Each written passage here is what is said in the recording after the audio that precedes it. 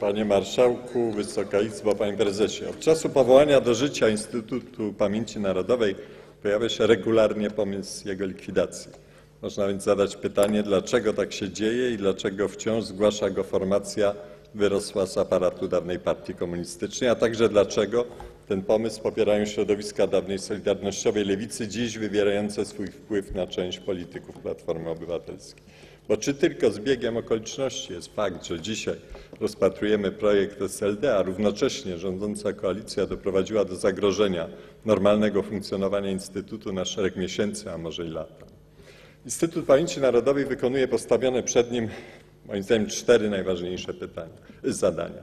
Po pierwsze, umożliwia dostęp do znacznej części ocalonych od zniszczenia dokumentów aparatu bezpieczeństwa reżimu komunistycznego, dostęp dla historyków, dziennikarzy, a przede wszystkim dla osób śledzonych i prześladowanych przez ten reżim, które mają oczywiste prawo poznać gromadzone na ich temat materiały. Po drugie, Instytut jest najważniejszą placówką naukową, edukacyjną i archiwalną zajmującą się dzie- dziejami Polski i Polaków w okresie lat 1939-1989. Po trzecie, Instytut przez swój pion prokuratorski wykonuje zadania lustracyjne, czyli dba o to, aby funkcjonujący w życiu publicznym dawni donosiciele bezpieki nie mogli tego faktu ukryć przed opinią publiczną.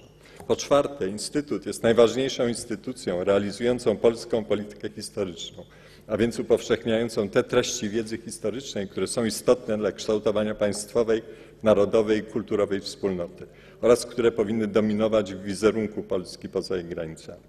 Dlaczego te zadania są kwestionowane i jaki jest cel wciąż ponawianych ataków na IPN? Oczywiście najważniejsze dla jego przeciwników jest powstrzymanie lustracji. Dziś, po 22 latach od rozwiązania bezpieki, ujawnianie jej donosicieli wydaje się już mocno spóźnione. A jednak, mimo upływu czasu, problem ten jest nadal aktualny.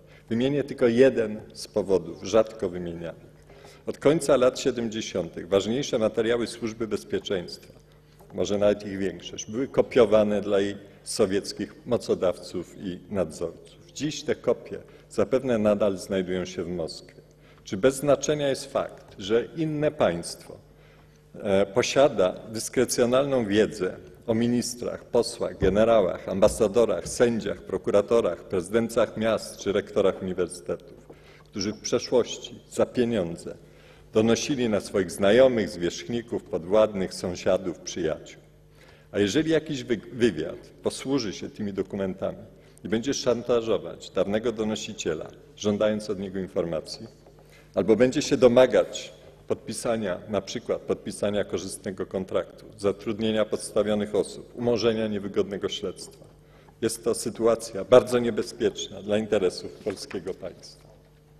Pomysł przeniesienia zasobu archiwalnego IPN podlegającego rozmaitym obostrzeniom zaczerpniętym z procedur służb specjalnych, zawierającym e, zbiory zastrzeżone itd. świadczy tylko o niekompetencji jego autorów. Likwidacja IPN jako ośrodka badawczego, wydawniczego i edukacyjnego dramatycznie zuboży przestrzeń polskiej nauki i edukacji. Równocześnie zniesie jedno z najważniejszych, równocześnie zniknie jedno z najważniejszych narzędzi uprawiania polskiej polityki historycznej.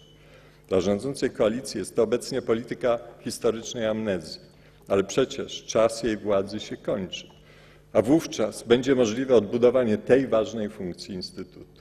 Dlatego Klub Parlamentarny Prawa i Sprawiedliwości wnosi o odrzucenie w całości w pierwszym czytaniu poselskiego projektu ustawy o likwidacji Instytutu Pamięci Narodowej. Dziękuję panu posłowi.